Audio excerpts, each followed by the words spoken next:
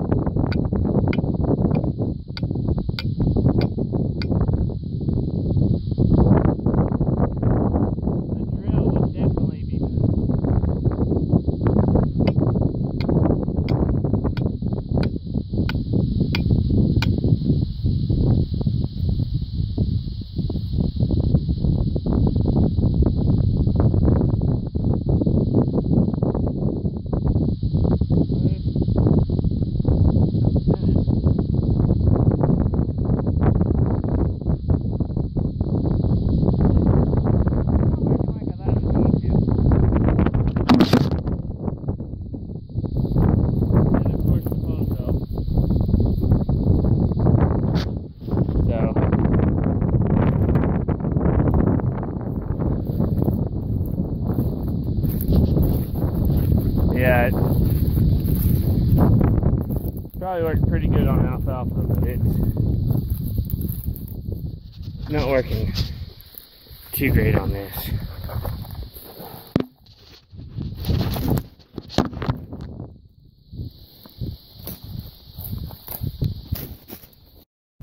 So, my phone actually stopped working, but uh, I tried it a couple more times and no success at all.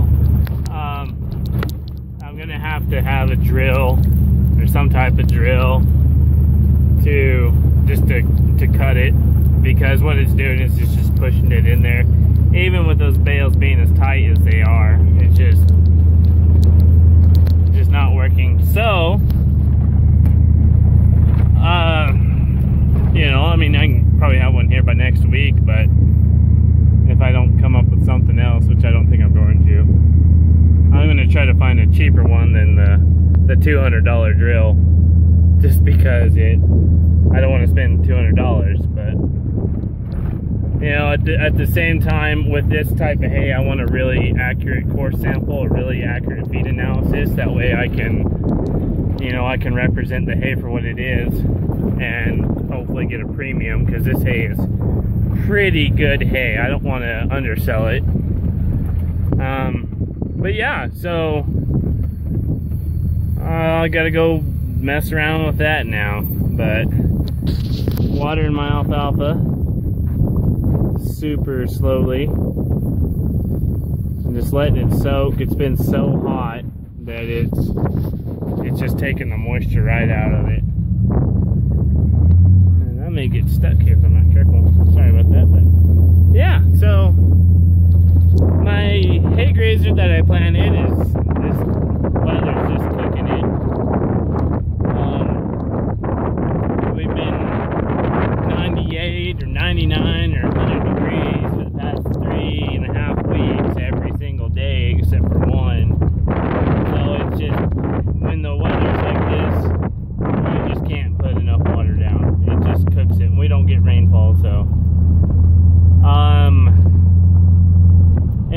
go to a minimum till or, or something to really get a good layer of protection on my soil to to help stop that. And even the guys that are no-till here still have to still have that same problem that I do.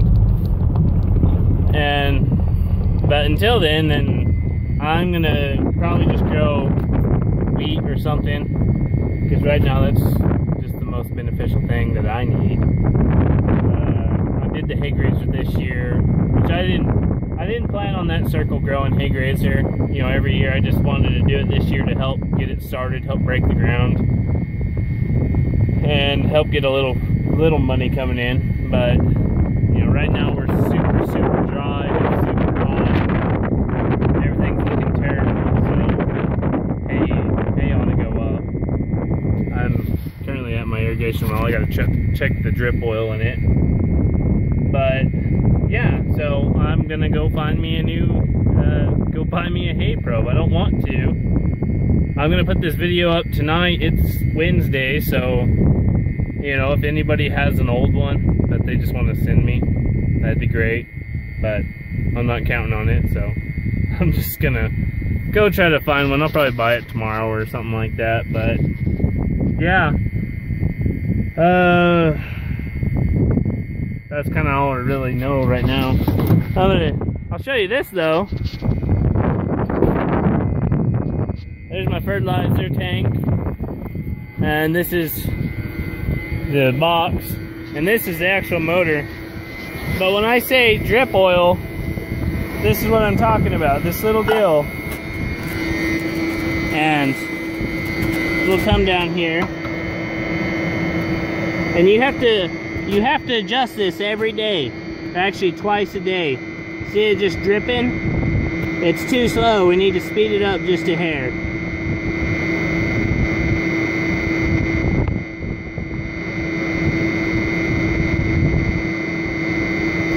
Okay, what that does, that's a that's a 10 weight oil, and it it drips down this shaft.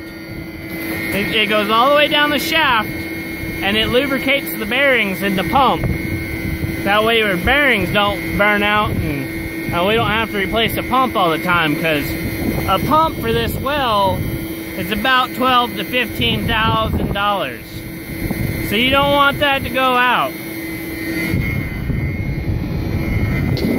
And so, and you can hook that barrel up to it. I don't, because I just terrible how I have this set up. Maybe like this.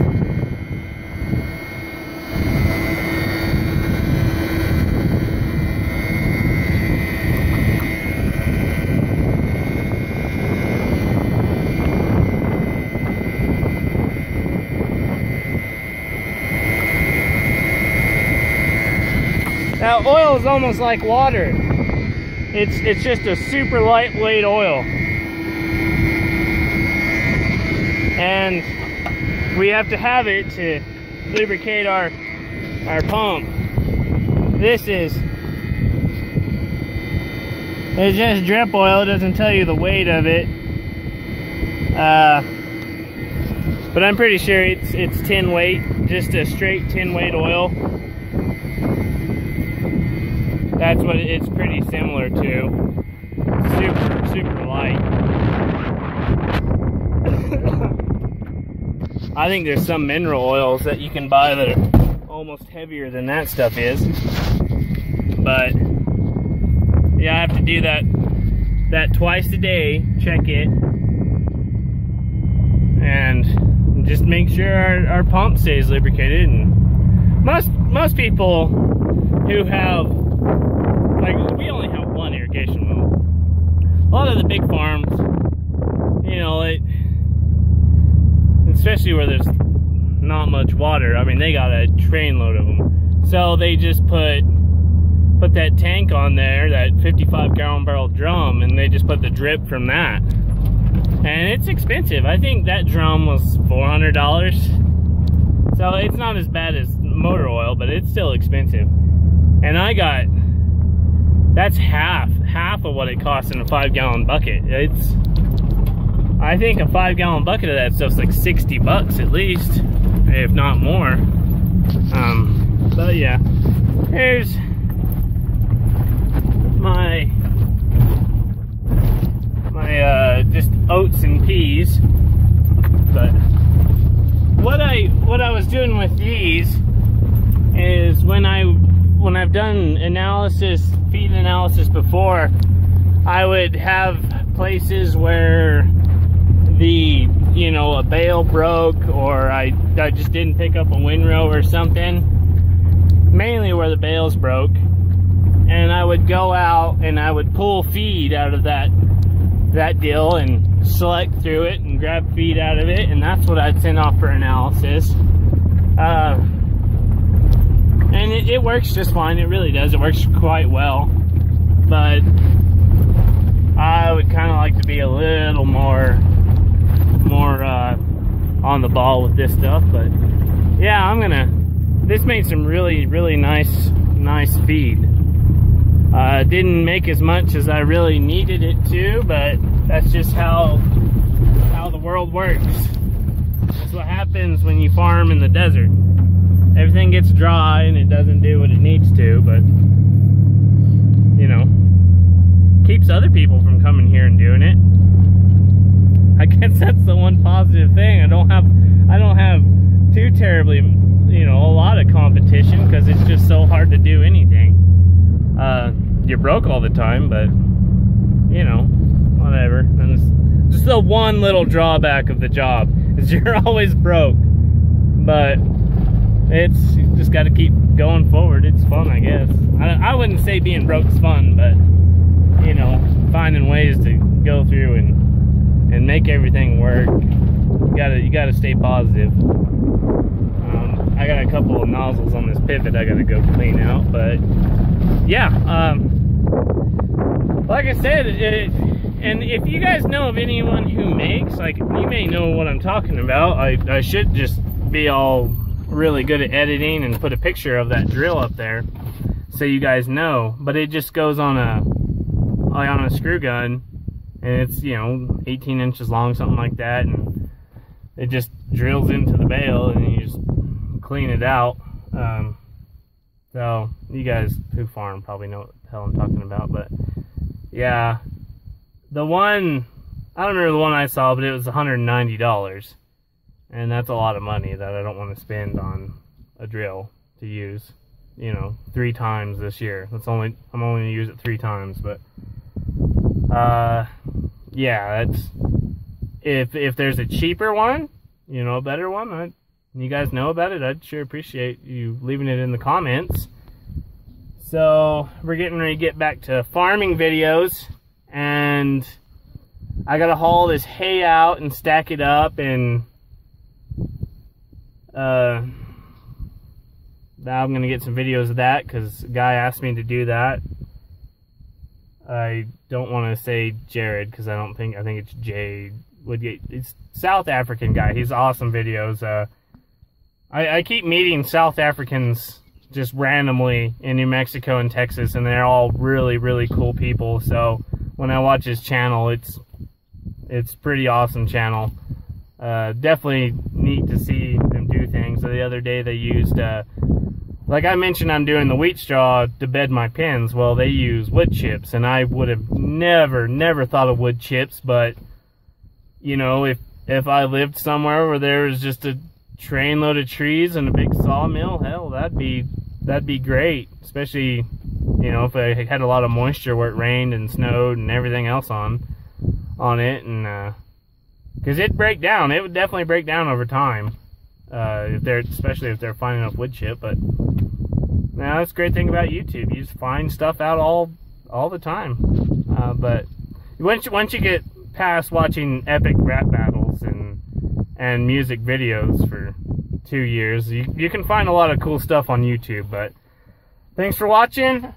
You know, comment, subscribe, like, don't like it. You know, and tell me what you want to see. You want to, uh, like I said, we're going to do some more farming videos. But if you want to see some if you want to see some ranching videos that you know, a lot of behind the, like what goes into making the ranch work. Like we're doing a lot of fencing right now and stock tank repair and just a lot of the in-between stuff that keeps things going. Uh, I'll get some videos that if I can, if you want to see them. If you don't, well then I, I won't worry about it. I'll just do what I need to do. But yeah, let me know. Thanks.